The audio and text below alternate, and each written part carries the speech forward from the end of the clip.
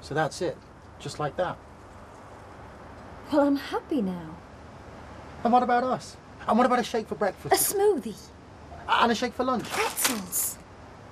Pretzels. And a sensible dinner? Yes, and a sensible dinner. I've moved on.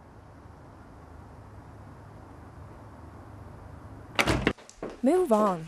Slim happy with Slim Fast. I, I like to, I like to go with the flow.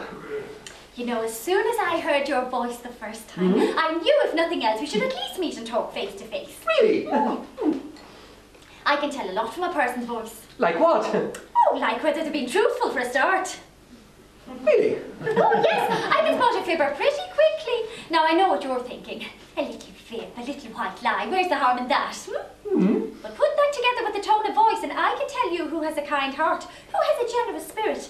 Oh, I should warn you. You shouldn't let me go on and on. My last relationship counsellor told me if I had one fault, then that was it. And you know, I hate it when other people do that, hogging the conversation. Me, me, me. Not that I'm a me, me, me sort of person. I'm not. Honestly, I'm not. It's just that sometimes I start talking and I forget when to stop. I go off on tangents and digressions like there were free holidays in Ibiza. I've been there nine times. Shouldn't have bothered. Should have known that Mr. Right is not a 20-something lager lout who throws up over your shoes while wearing his underpants on his head.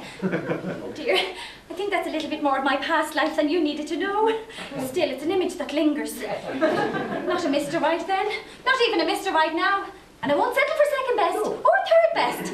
Georgie best in his prime, maybe. Do you like football? How did I get onto this? Will you help me out, please?